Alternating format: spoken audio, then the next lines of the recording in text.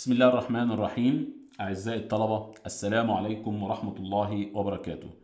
استكمالا لجزء الخاص بالخوازيق اللي هو في chapter 6 هنتكلم على موضوع مهم جدا جدا في آه، ال chapter دوت ألا وهو إيجاد ال bearing capacity of pile أو قدرة تحمل الإيه؟ الخازوق.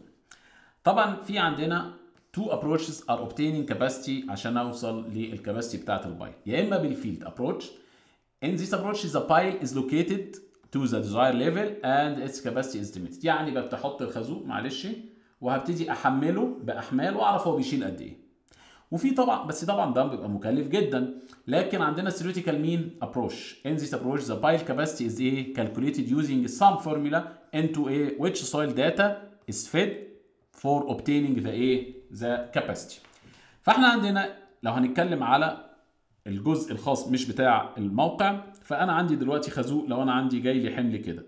إيه المقاومة بتاعته؟ جاية منين؟ جاية من حاجتين. جاية من ال skin friction وعندي من ال end bearing ال skin friction دي بتبقى high in مين in clay لكن في ال sand بتبقى مالها صغيرة. ليه؟ ال clay بيبقى فيه adhesion فيه تماسك لكن هنا بيبقى بيعتمد على الاحتكاك.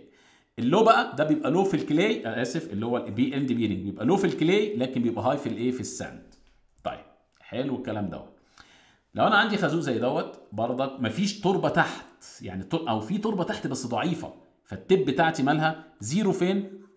في ال clay و zero في مين؟ في ال sand. دي possible إيه؟ momentary إيه؟ suction لو في suction ولا حاجة. في الحالة ديت هتلاقي إن ال- ال- ال- الخازوق بتاعي ال skin friction بتاعه هو ده اللي شغال عندي. واتفقنا إن هو بيبقى جاي منين؟ من ال high في ال clay و low في مين؟ في ال sand. بس الكلام ده إمتى يحصل؟ لما يبقى عندي applied لو جاي له tension يعني الخازوق هنا بيتحمل شد. انسى بقى ان في tip resistance ده صفر مش موجود. ده أنا بشد. فمفيش حاجة هتقاوم تحت. المقاومة كلها جاية من ال skin إيه؟ friction بتاعي. طيب إزاي احسب بقى ال capacity prediction method في عندي طريقة لل statics وفي dynamic formula وفي ال wave equation وفي ال dynamic measurement بس إحنا برضك الثلاثه دولت مش هنتكلم فيهم. إحنا شغلنا كله على الطريقة مين؟ ال static بتاعتنا.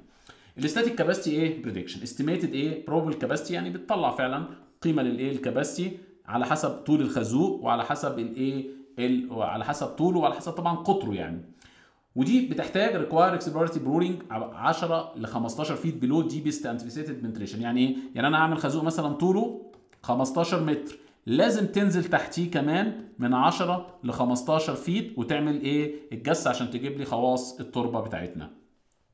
لازم طبعا يبقى مديني جراوند ووتر تيبل كيو ان كونفايند الاس بي تي الان ميثود يعني في كذا طريقة ليها. الانبوت انكلودنج مين؟ الكيو مين؟ unconfined أو الكيو التيميت والاس بي تي بتاع الان فاليو لوكيشن جراوند ووتر واليونت ويت الاوفر بيرن ستريس ميجر كنترولينج فاكتور سويل ستريس إيه نيكست بعد كده تيك مين السويل بايل سيت اب انتو ذا إيه اكونت يعني إيه يعني هل ده هيبقى دريفن ولا هيبقى ماله بورد وبيبقى الفرصة أو يعني إيه إيه إن هو يبقى قيمة سليمة بتبقى نسبته 25% أزيد من الايه أو أقل من الواقع. طيب نحسب بقى إزاي بقى ال bearing capacity بتاع أي خازوق عندي أهوت. عندي الخازوق دوت عليه قوة ضغط Q فهيجي لها ال- المقاومة بتاعته من من حاجتين من ال skin friction من Q P يعني Q ultimate ما هي إلا Q P زائد Q مين S Q ultimate هي ال ultimate capacity of single pile ده خازوق لوحده و Q P دي ال point capacity وال Q S هي ال friction resistance along the مين the shaft طيب ناخد واحدة واحدة بقى. ال Q P أجيبها إزاي؟ لو أنا عندي sand ال Q P ما هي إلا area P في Q P area P اللي هي المساحة بتاعة الخازوق. لو كان مربع لو كان شكله ايا كان شكل المهم مساحة القطاع بتاعه. في ال Q dash في ال N مين Q إيه ال Q dash ديت؟ دي ال effective over إيه ال effective vertical stress عند ال tip يعني أنا عندي خازوق أهو. هجيب سميشن جاما في اتش لحد مين؟ ال tip بتاعتي. ده ال Q dash N Q ديت أجيبها منين؟ دي ببتدي أشوف مسافة عندي 3 D ودي من ال diameter بتاع الخازوق وأبتدي أشوف phi average في المنطقة ديت وعلى حسب ال phi ده طلع قيمة مين؟ ال N Q اللي أنت عايزها. بس هنا في ملحوظة لازم تخلي بالك منها إن في حاجة اسمها limiting point إيه resistance ما ينفعش إن أنا لو خازوق مثلا طوله 1000 متر آخد من أول فوق لحد تحت. ال Q ديت هتبقى رقم كبير جدا. فلازم تجيب حاجة اسمها ال Q limited ال Q limited وحدتها بالكيلو نيوتن على المتر square عبارة عن 50 في ال N Q في tan مين؟ phi بمعنى إن أنت بتجيب ال Q بتاعتك اللي هي ديت اللي هي ال Q P ديت وتجيب ال Q مين؟ L ديت. وتاخد مين؟ تاخد الأقل فيهم.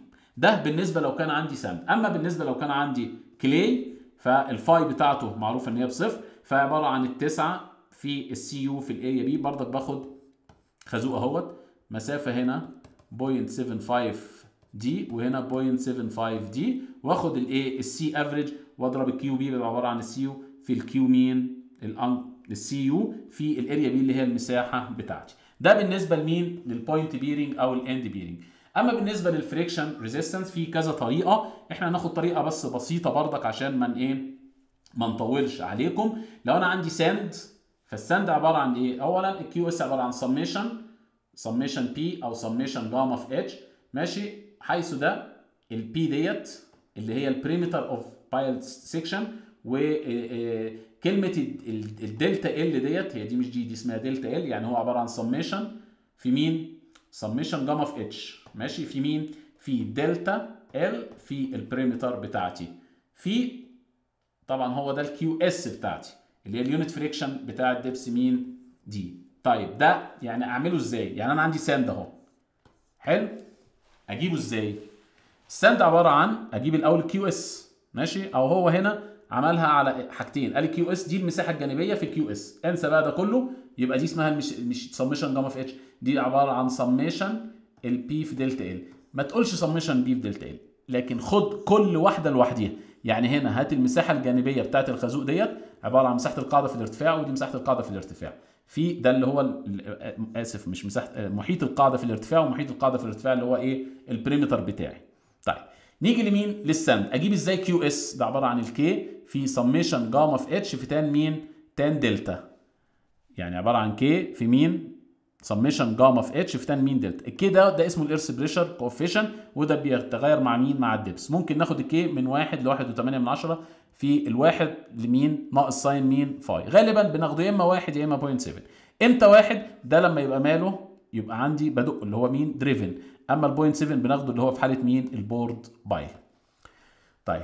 دي بقى سميشن جاما في اتش اجيبها ده دي ال increase with depth to delta L 15 D يعني إيه؟ آخد سميشن جاما في اتش لحد نص الطبقة اللي أنا عايز أحسب عندها. مع مراعاة إن هي ما تزيدش عن 15 مين؟ D كويس؟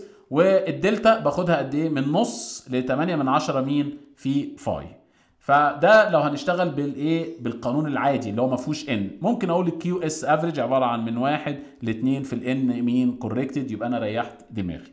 ده بالنسبة لل sand أما بالنسبة لل clay اللي هي ال phi بتاعتها بصفر فعندي طريقتين في عندي ال alpha method وال beta وال gamma لا أنا مش هاخد ده كله أنا هاخد طريقه بس مين ال alpha method ال Q S عبارة عن مين الفا في السي يو طب الالفا دي أجيبها إزاي؟ من هنا. هات ال C U على على sigma note واطلع على ال curve ده أطلع منها قيمة مين الفا وبعد ما اطلع قيمة الألفا يبقى أقدر أطلع ال Q S بتاعتي عادي جدا. شكرا.